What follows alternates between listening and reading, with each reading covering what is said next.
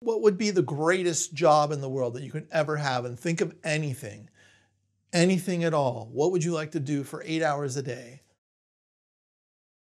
How do you define story and how do you teach it to students and clients? We tell stories all the time. Even as I'm talking to you, I'm telling stories. I'm bringing characters in. Um, we we're we're made to tell stories. We're made to we're made to tell stories about what you know our aunt did. That oh my God, she's she's crazy. She's out of her mind.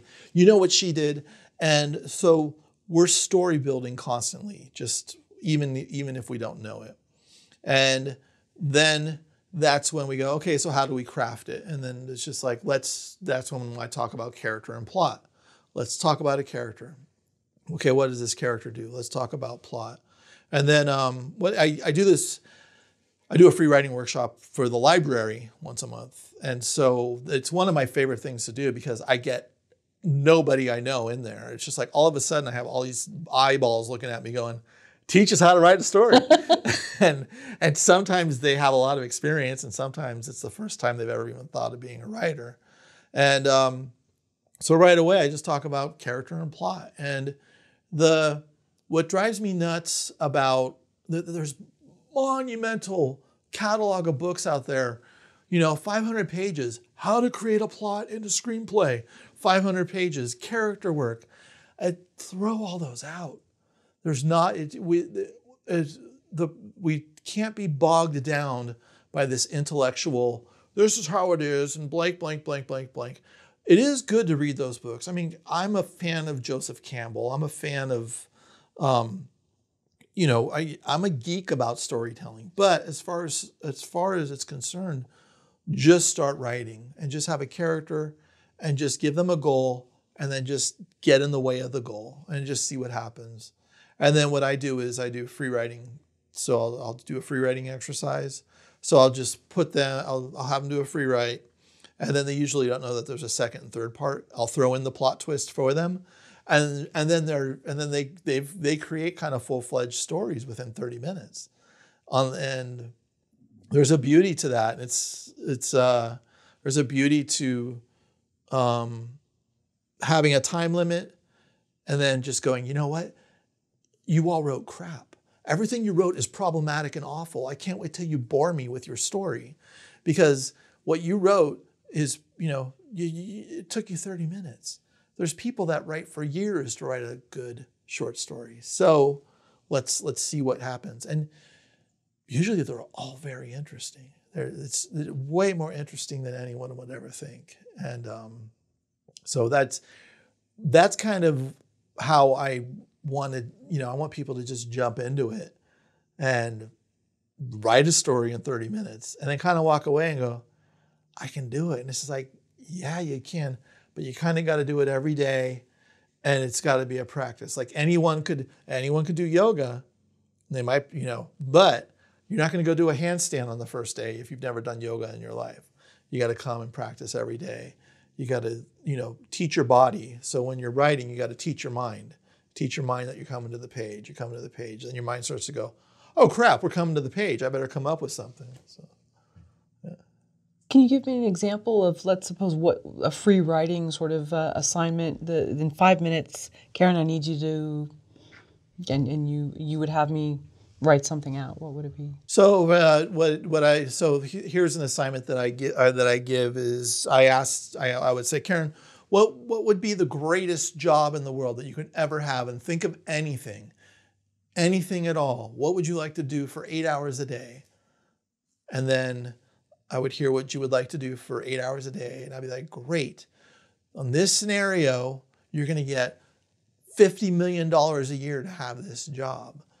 But you only have one more, you've been through eight interviews. They want you. You have one more interview. So you need to um, you need to drive to the interview. But when you as you're driving to the interview, you're gonna get in a car accident and someone's gonna cut you off. And so write, and I would tell you to write that. Write that scene. You got the last interview for the greatest job in the world for all the money you could ever want, but this car cut you off. And that would be the beginning of that writing exercise. And then the plot twist. Uh, yeah, everyone write it out, and usually it's just like that, you know, that just I'm gonna kill and uh, you know, and, and it's just great. They like really get into it because because they find something they're passionate about the character. Right? It's we've created the character. The character has a passion, and the character has a goal, and then after that that limit, I go, okay, great. Now you're now your character's at the interview and they find out that the person they got in the car accident with is the person that's interviewing them. Now, how does that play out? And that's when it's just like, you know, because they weren't thinking of that. They're, and so then they then they're like, oh, how do we how do we resolve this huge problem now? Usually that has been a very contentious scene is now the person that they need. So it's a lot of fun. And then after that, um, my big question is the, last sentence is do they get the job or do they not get the job? And usually it's 50 50. Um, so usually people find a way around it. People, it's so that would be that that would be one of the the one of the one of the lessons I use a lot to get someone to write, and that would be about 30 minutes. So I'd have them write about 10 minutes, just really dive into the anger of the scene, 10 minutes of resolution, and then uh, five minutes after that. So excellent. That sounds fun. Yeah, I know. Sometimes the beauty of being in a writing class is just hearing the other people. It's not. It's not so much getting critique on your own. And there, yeah, and in that situation, there's no critique at all because oh. it's just read. It's just reading it. Oh, I see. Okay. So and and for the most part, everyone is laughing at every story because they're so good, and it's and people get really t- like I've had people who are like, that is the first time I have ever read anything I've written in front of everybody. It happens more than not. And um, and I'm like, were you expecting that reaction? They're like, no. And I'm like, you you got story to tell. So make a decision. You're gonna join us in hell? What is it? Laugh with the sinners or cry with the saints? Um, Virginia, come on. You know, um, no, I don't I know why it. I'm singing. I shouldn't be singing. Why are you allowing me to do this? No, no. You, we, but uh, Billy Joel. I would join in if I knew it. I got to watch Mystic Pizza. I got to listen to Billy, Billy Joel if we were to have a Tony DuShane five part writing process to a story, what would that be? I don't know why I'm drawing a blank. A pen, paper. Okay. Uh, yeah, pen, paper, good cup of coffee, or, or whatever, or whatever drink, mm-hmm. um, and uh, a, a, desk or even a chair just somewhere, and um, you know, whether you're disturbed or not disturbed. I think something that happened with COVID is uh, people said, Oh, it must be great for you because you can write now like you want. I'm like, No, no, no, you don't get it. I have to be irritated to write. People are not, I need to be in a cafe where people are talking loud on their cell phones, people are being awful, and I have to tune that out and then I have to write, I have to kind of write in, uh, in situations where it's kind of antagonistic, where things are coming at me. And that's when I do my best writing when I'm at peace, I don't do great writing.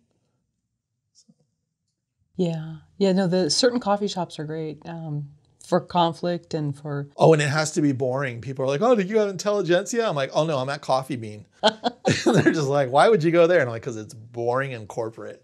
Oh, so you don't want too much too much happening. I don't want it to be cool. Oh, I see. Okay. Yeah, yeah. I I don't want it to be hip. Okay, so no filtered water and you know.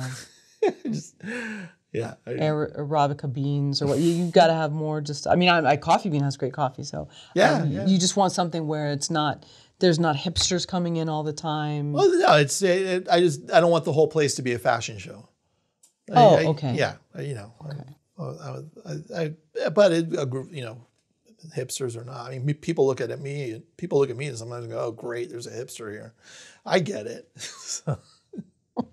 Well, sometimes what's great are, are old diners. I know they're they're hard to find where there's someone that I'll be right with you, and it's like they're going to serve it from one of those ancient coffee oh, pots. Yeah, yeah. And that's great because there's so many characters in a place like that, and it's real quiet, and there's just everyone you know like each person has a fascinating story like what yeah. they're doing and yeah but there's not that many places like that anymore yeah. they've been replaced